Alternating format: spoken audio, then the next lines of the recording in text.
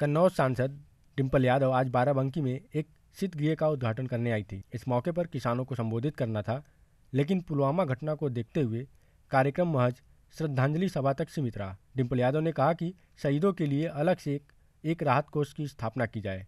पुलवामा की जो घटना हुई, बहुत दुखद हुई है और और मैं समझती हूँ देश को बहुत क्षति पहुँची है इस घटना से। शहीदों को सम्मान मिलना चाहिए और सम्मान मिलना चाहिए और उनके बच्चों की शिक्षा का ध्यान सरकार को रखना चाहिए और मेरी मांग है कि इस तरह का कोष बनाया जाए और आसपास के जो भी स्कूल होते हैं, अगर केंद्रीय विद्यालय तो केंद्रीय विद्यालय और अगर सैनिक स्कूल है तो सैनिक स्कूल तो ऐसी इंतज़ाम किए जाए सरकार द्वारा जहाँ पे जितने हमारे शहीद हैं उनके बच्चों के पढ़ने की व्यवस्था करी जाए।